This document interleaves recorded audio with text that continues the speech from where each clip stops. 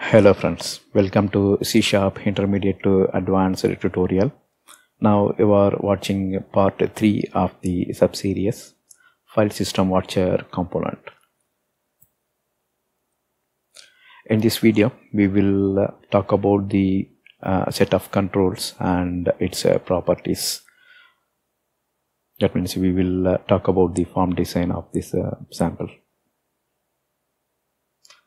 These are all the slide decks from previous two parts.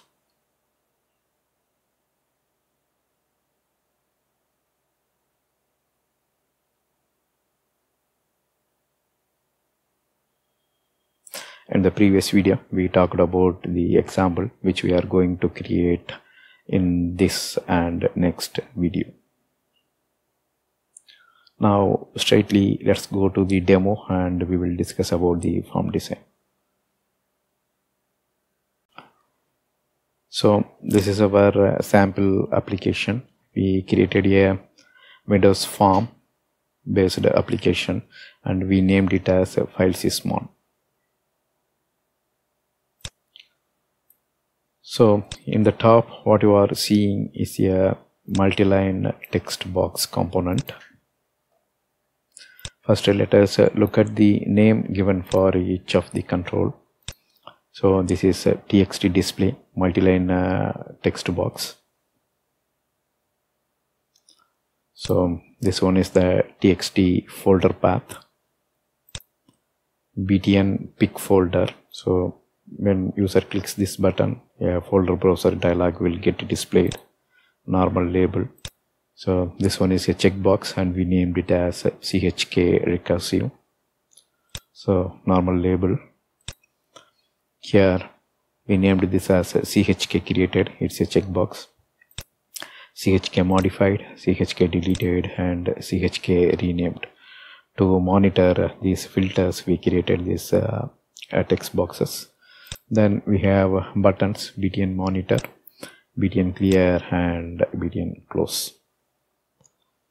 Also if you see under the components we drag and dropped two component. So one is the file system watcher component. So you have to click here. Drag and drop like this. So since I already dropped it in the bottom portion of the form design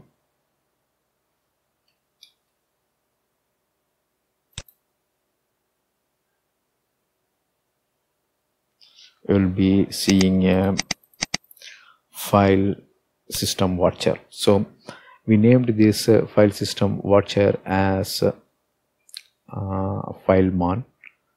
And uh, so by default it will be false. Let's keep it as false.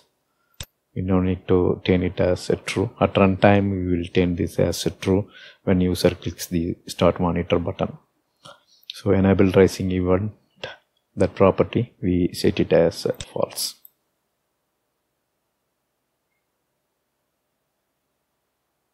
All right. Then we placed folder browser dialog also. So just drag and drop here. So here is the folder browser dialog and we named this uh, folder browser dialog as folder b. So it will be available under the dialog group folder browser dialog so once you place a text box so it will be available here.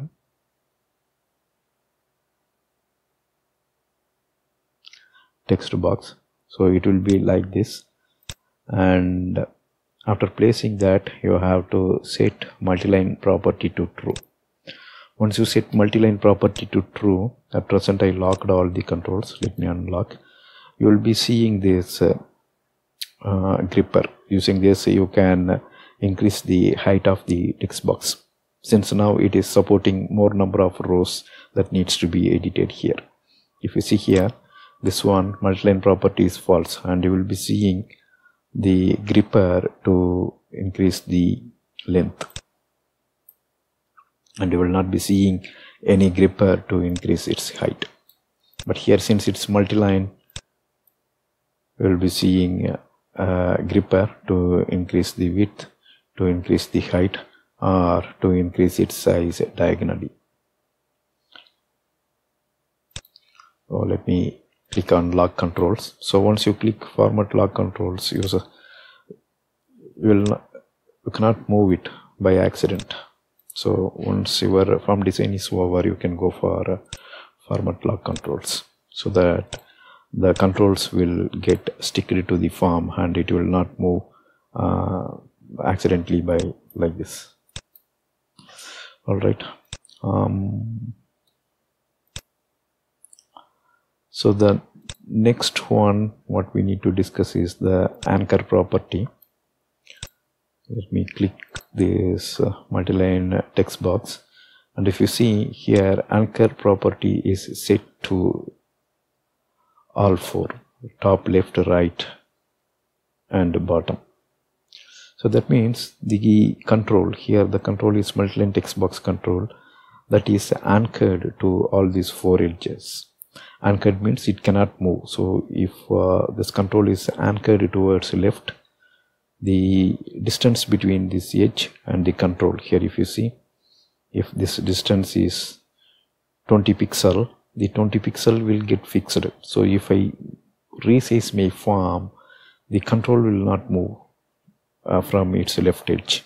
So that's the meaning. Here if you see since we sticked or we anchored it or we bolted this component to all four edges when I move the or resize the form the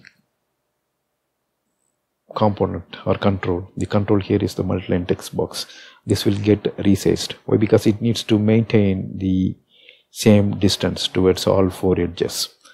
So instead of uh, saying like this let me run it. And if you see the distance is just what so this is 5 pixel let's assume. Let's assume this is also 5 pixel and this is also 5 pixel. From here the distance this edge as well as this form edge. Let's say this is a 50 pixel so since we anchored it on all four edges the component should maintain that distance. That means if I resize the form the text box multi-line text box should also resize. If you see it's resizing. So when I increase the width the multi-line text box will get resized widthwise or if I stretch like this it will its height will increase that means it is anchored to this bottom. And if I move it want to maintain the same distance between the bottom edge and here. So that's why it's resizing. Alright now let's look at the other anchor property. Now you got a understanding. So here if you see this is not anchored towards the top but it is anchored towards left right and bottom. That means it will maintain same distance here in the left i mean this text box. At present i selected this text box right? Distance between the left edge and this control is maintained the same way distance between the right edge and the component controls edge this one the cursor location. This will get maintained. Similarly this will also get maintained. But the distance here will not get maintained. Here we are not anchoring right? So what this means is suppose if I increase the form widthwise or if I resize it horizontally since it is anchored here on both when I move this way the multi-line I mean the uh, single line text box will increase in width but if I resize vertically since it is not anchored uh, it is not ticked it is not sticked to the top edge. So if I move the bottom edge here the control will uh, move towards the bottom. That means it won't resize height wise let's see that. Remember this text box is anchored towards left and right. Anyhow uh, when we resize this left edge is maintained the distance why because or if you resize this way you can see how uh, the distance is maintained here. All right let me increase uh, the right side.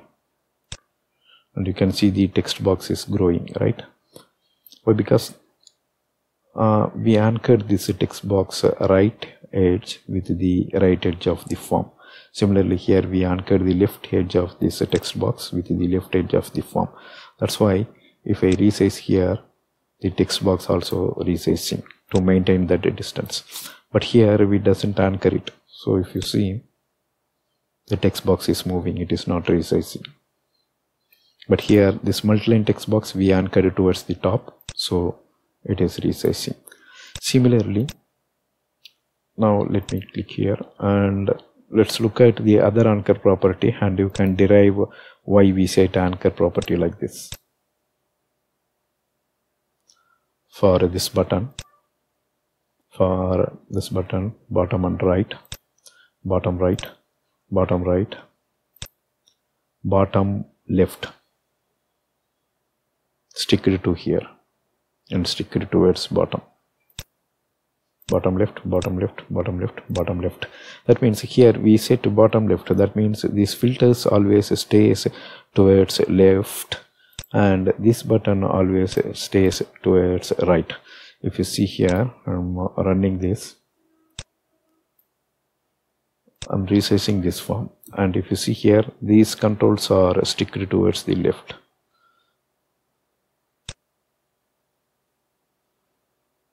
right? But these are all not moving. But if I move this way these controls are moving but not these. Watch it. So that's the anchor property. And uh, what else? That's all here. Since now you know how to use anchor property you can set uh, as you like and that's all here. Let's check once again.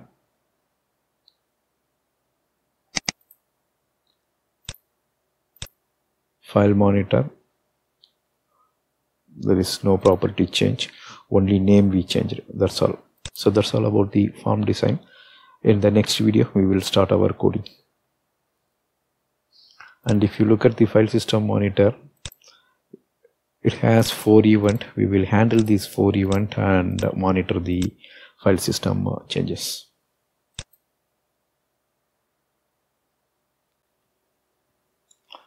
That's all here in this video. Thank you for watching. Bye